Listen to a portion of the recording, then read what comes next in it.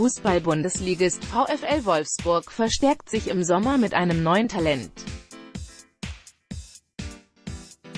Der erst 18 Jahre alte Ulysses L. Lanes von Los Angeles Galaxy gab den Wechsel über Twitter selbstständig bekannt. Ich bin überaus glücklich bekannt geben zu können, dass ich meinen ersten Vertrag mit dem VfL Wolfsburg unterzeichnet habe, schreibt L. Lanes über den Kurznachrichtendienst. Ich möchte mich bei meiner Familie, meinen Freunden und den Trainern bedanken, die mich auf meinem Weg unterstützt haben.